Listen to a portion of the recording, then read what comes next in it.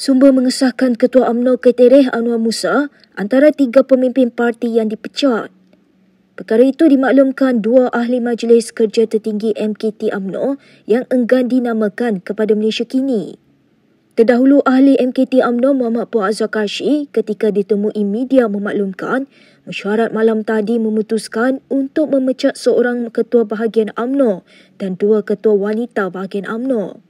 Dia tidak menamakan mereka secara khusus namun memaklumkan mereka dipecat kerana mencemuh parti dan berkempen untuk parti lain pada PRU lalu.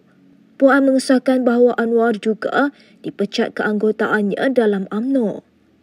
Difahamkan dua yang lain merupakan Ketua Wanita AMNO bahagian Arau, Syamsiah Yassin yang juga isteri kepada Syahidan Kasim dan Ketua Wanita AMNO bahagian Maran, Fatimah Kasim. Anwar yang merupakan bekas Menteri Komunikasi dan Multimedia dikenali sebagai pengkritik kuat Presiden AMNO Ahmad Zaid Hamidi. Terbaru Anwar berkongsi hantaran di media sosialnya pagi ini berhubung mimpinya melihat rumah pusaka terbakar. Kata Anwar, dia sayang rumah itu dan hanya cuba untuk memadamkan kebakaran namun ditarik keluar dan kini hanya mampu melihat kebakaran itu dari luar.